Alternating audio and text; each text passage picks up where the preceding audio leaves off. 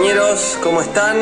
Bueno, eh, Martín, parece que nos, eh, nos estuvieron escuchando, porque ahora, mira, la reta dice, hay que sacar el cepo lo antes posible, pero para poder hacerlo tenés que tener credibilidad y estabilidad, terminar con la volatilidad de la inflación, para lo cual tienen que ingresar dólares, no hay medidas mágicas. Pero nosotros cuántas semanas hace, Martín, que venimos conversando de que si no se estabiliza el mercado cambiario, no hay ningún programa, ni precios cuidados, ni precios justos, no hay ningún programa que, sea eficiente.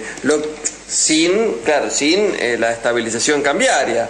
Y justamente el poder concentrado, esto lo venimos también repitiendo este, sistemáticamente, porque es importante que la gente entienda que este, este desorden eh, cambiario que permite la eh, bueno este, esta volatilidad cambiaria con esta brecha ¿no? este, entre el dólar oficial y los dólares eh, de este, financieros de, de estos mercados que en realidad son muy pequeños es decir en eh, esto también lo hemos repetido muchas veces, ¿no? Pero en el del tamaño total eh, del mercado total, ¿no? De, dólares eh, del país que, que, representa todos los dólares que entran y que salen del país.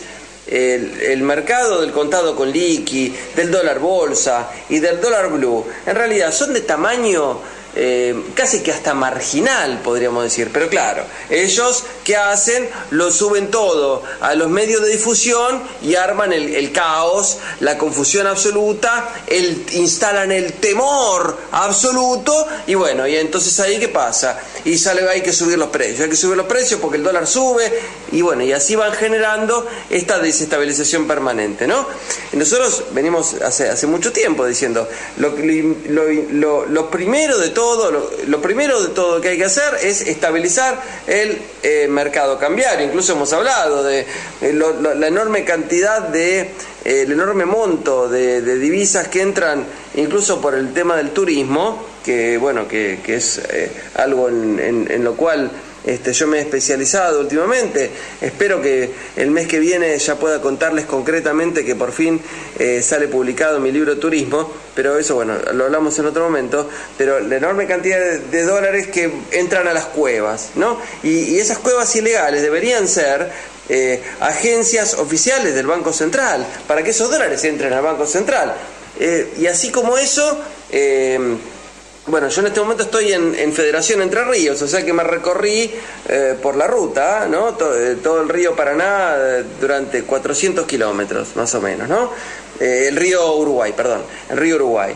Este, bueno, tanto río Uruguay como río Paraná este, tiene que ver con, con comercio exterior y tiene que ver con enorme cantidad de, de divisas que, eh, que no se declaran, enorme cantidad de mercancías y por lo tanto de divisas que no se declaran, por lo tanto que se evaden al fisco y que además implica, entre otras cuestiones, eh, ingreso de productos eh, no declarados del exterior con un contrabando que existió siempre, pero que ahora tiene este, muy muy, muy dañino peso, ¿no? Porque además cuando ingresan productos del exterior, eso es lo que no se produce acá, entonces se, se, debilita la protección de la industria y entonces la generación de empleo. Bueno, son diversas cuestiones que nosotros venimos conversando hace tiempo, ¿no? Y mirá lo que dice la reta. Se, ve que nos habrá escuchado, capaz, Martín, porque nosotros siempre dijimos que lo que primero que hay que hacer es eso. Ahora, lo que dice la reta, mirá, ¿no? Este, dice, hay que sacar el cepo lo antes posible.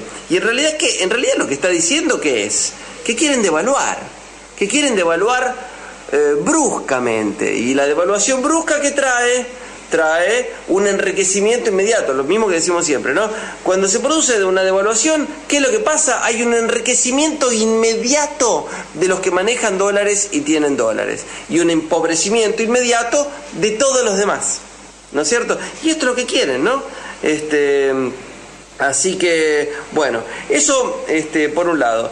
Después, eh, obviamente, me quiero referir a dos cuestiones más. Por un lado, eh, eh, ellos, es decir, este, bueno, la Reta, Macri, Bullrich, Milei, que serían los candidatos, los, los, precandidatos o candidatos eh, del conservadurismo, del neoliberalismo, eh, hablan de mm, este, unos más, otros menos, ¿no? de la necesidad de privatizar todo, ¿no? de regular todos los mercados, de toda la historia, quitar el estorbo del Estado, bueno, una serie de cuestiones que nosotros siempre fuimos hablando eh, de a una. Ahora, la cuestión es que quería hacer una, una, una, acotación de un tema, porque cuando vinieron el, periodo de privatizaciones del gobierno de Menem, desde 1989, que en realidad fue anunciado por José Alfredo Martínez de Oz el 2 de abril de 1976. Búsquenlo en YouTube, lo van a encontrar. Eh, José Alfredo Martínez de Oz, 2 de abril de 1976. Dio el plan eh, de la dictadura, el plan económico de la dictadura de, Menem y de la Rúa y de Macri. Está ahí explicado, 2 de abril de 1976. ¿eh? Este, y bueno, y de lo que viene, de lo que eh, viene ahora a representarlos, que eh, espero que, que, pierdan en, en las elecciones próximas, ¿no? bueno, pero cuando se produjo el tema de las privatizaciones de Menem, eh, fue después de un ciclo bastante extenso de destrucción de las empresas de servicios, ¿no? Es decir, que comenzó con la dictadura y que consiguió con, eh, con el gobierno de Alfonsín, que no pudo que no pudo restablecer ningún orden ni económico ni financiero y por lo tanto se siguieron deteriorando todas las empresas del Estado. Entonces, la idea es generar un estado de confusión absoluta, un estado de caos invivible, para después venir con algo que aparece como una cuestión salvadora, o por lo menos decir, bueno, mira, eh, peor de lo que estás ahora no puedes estar, así que déjame probar con esto, ¿no? Pareció, ¿no? Como que quieren volver a hacer lo mismo que hizo Menem. Pero la diferencia, la diferencia es que ahora las cosas funcionan bien. Miren los números. IPF 2022, ¿no? Eh, ¿Se acuerdan que Menem lo había privatizado? Lo renacionalizó eh, este, el, periodo kirchnerista, el gobierno de Cristina Fernández, ¿no? Eh, este, bueno, IPF, resultado 2022, resultado bruto de exportaciones 5 mil millones de dólares.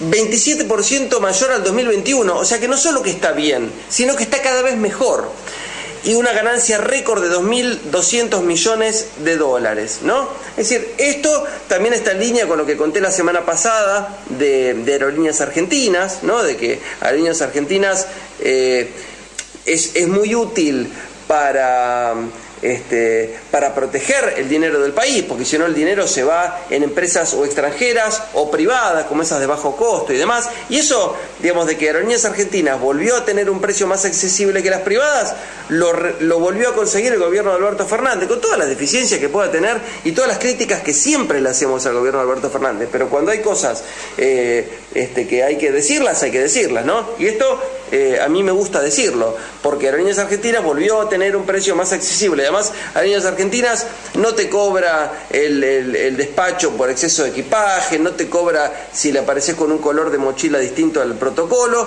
y tampoco te cobra eh, la elección del asiento, como si lo hacen las privadas y algunas extranjeras. Bueno, este, sirve para proteger que el dinero se quede en el país, entonces también restablecer rutas internacionales, permite ingreso de divisas, de al país y obviamente, como es nuestra, no pertenece a una empresa extranjera que eh, retira eh, este, divisas en concepto de utilidades de empresas extranjeras operando en nuestro país.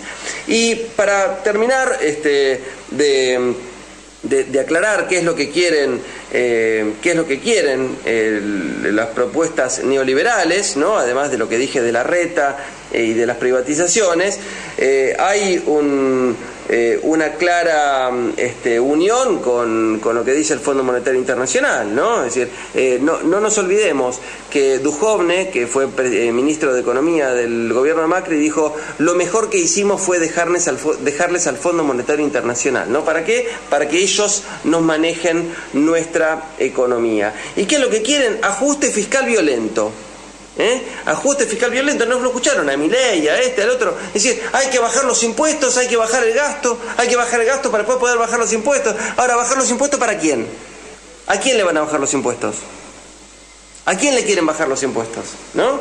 Le quieren bajar los impuestos a los ricos, ¿no? Que es lo que hicieron siempre. Bueno, sea como sea, lo analizamos eh, otra, semana, el ajuste fiscal violento, termino con esto, significa bajar el gasto público, o sea, bajar la inversión social del gobierno, eso baja el nivel de actividad y vuelve a aumentar qué cosa? Los problemas de pobreza y de desempleo. Así que, bueno, miren cómo hay mucho para pensar y para analizar. Les mando un abrazo enorme desde la provincia de Entre Ríos. La mañana del domingo con Martín García. Al amigo todo, al enemigo ni justicia. Porque en esto no se puede tener